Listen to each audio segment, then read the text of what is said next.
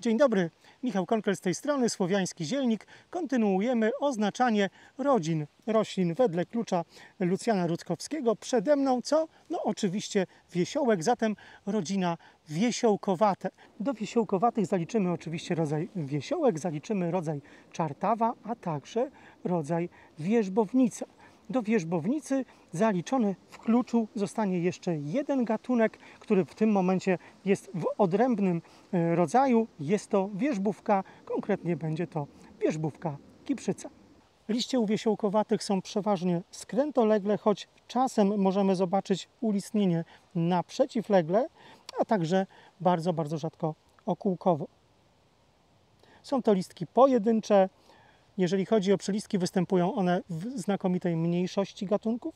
Blaszka liścia raczej całobrzega, czasami ząbkowana lub pierzasto-klapowana. Kwiaty zebrane w ulistnione kłosy lub grona. Bardzo rzadko zebrane są w wiechy. Najczęściej owocem będzie sucha torebka, choć rzadko zdarzyć się może orzech, a bardzo, bardzo wyjątkowo jagoda. Zawsze jednak są to y, nasiona liczne. To co? Skoro wiemy już troszeczkę o rodzinie wiesiołkowatych, to chyba czas najwyższy sprawdzić się w terenie. Bierzemy książkę i sprawdzamy. Wiesiołkowate, strona 317. Mamy tutaj kilka y, oczywiście rodzajów, które będzie można wybrać. No i czytamy. Łodyga czołgająca się i niekiedy zakorzeniająca się w mule. No, ta tak nie wygląda. Więc jedziemy z 1 prim łodyga u naszych gatunków wzniesiona. Świetnie. Widać, że jest wzniesiona. Kieruje nas do punktu drugiego. Płatki białawe. No, niekoniecznie. Czyli 2 prim, płatki różnej barwy. Najczęściej ponad 3 mm długości. No, mamy. Kieruje nas to do punktu trzeciego. Nasiona z aparatem lotnym, y, tak zwanym pęczkiem włosków, lub nasiona bez włosków, zalążnia, walcowata, kwiaty zwykle okazałe, natomiast w punkcie trzecim, bo to był ten, ten 3 prim, w, te, w punkcie trzecim kwiaty nieduże, niewielkie. No i faktycznie jakbyśmy się tutaj uparli, czy jest już coś bardziej dojrzałego, możliwe, że jeszcze nie. Nie wiem, czy dobrze widzicie, ale zaczątek tych włosów jest tutaj widoczny, czyli my wybieramy punkt trzeci. A jeżeli wybieramy punkt trzeci, to kieruje nas to do rodzaju wierzbownica. Strona 323. No i jeżeli chodzi o wierzbownicę, to mamy takie opcje. Kwiaty słabo grzbieciste albo kwiaty promieniste. W naszym przypadku mamy do czynienia z kwiatami promienistymi. Skoro promieniste, to od razu idziemy do, do, do punktu trzeciego.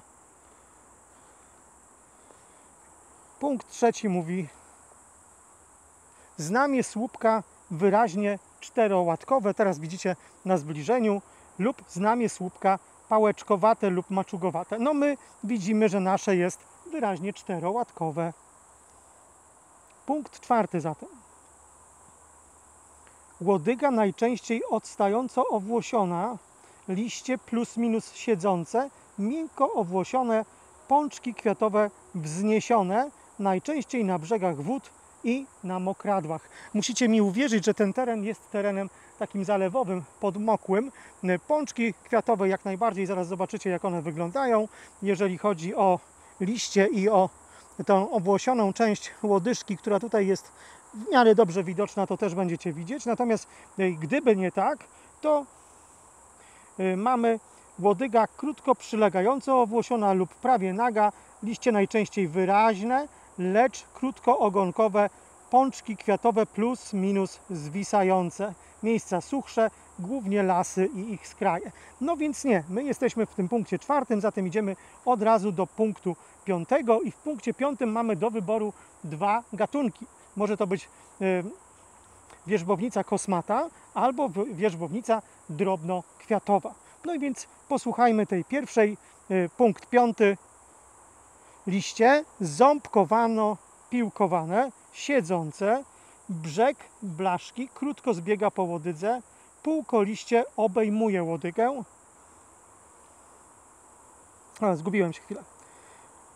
Działki kielicha lancetowate, ostre, spiczaste. I to też e, zobaczycie e, na zbliżeniu.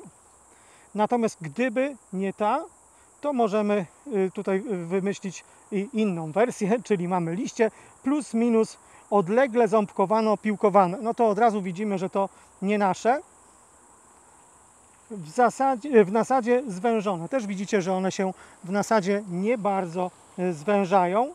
Sercowato siedzące. No nie. Czyli nie mamy do czynienia z wierzbownicą drobnokwiatową, mamy do czynienia z wierzbownicą kosmatą. I co? Było trudno? No mam nadzieję, że nie. Jak będziecie przebywać, obcować z tą książką, jak będziecie z niej korzystać, jak się będziecie wdrażać, to będzie coraz łatwiej. E, Widzieliście cały e, jakby ten mm, tok, którym trzeba przejść, żeby przy odgadnąć, a może nie tyle odgadnąć, co oznaczyć e, gatunek, który macie przed sobą. Jeżeli już będziecie wiedzieć, jaka to rodzina, no to potem e, oznaczacie do rodzaju, a jak oznaczycie do rodzaju, to oznaczacie później gatunek. No i tak, jak tutaj mówiliśmy, mamy do czynienia z wierzbownicą kosmatą. Widzicie? Chyba jeszcze nie, ale już Wam pokazuję.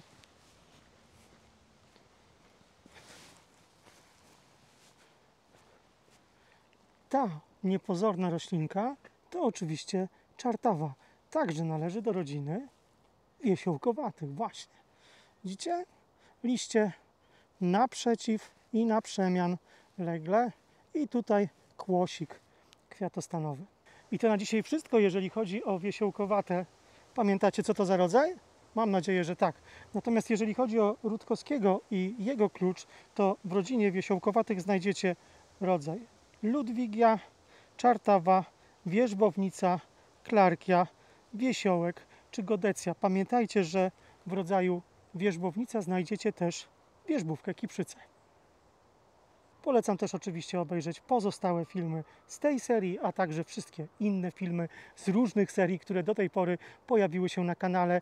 Jeżeli się podobało, zachęcam do pozostawienia łapki w górę. Jeżeli jeszcze ktoś nie subskrybuje, zachęcam do subskrypcji. No i żeby kanał mógł się rozwijać jednak troszeczkę szybciej, choć i tak cieszę się z tego, co już teraz mam, to zostawcie komentarz. Dzięki serdeczne, do zobaczenia następnym razem. Do widzenia.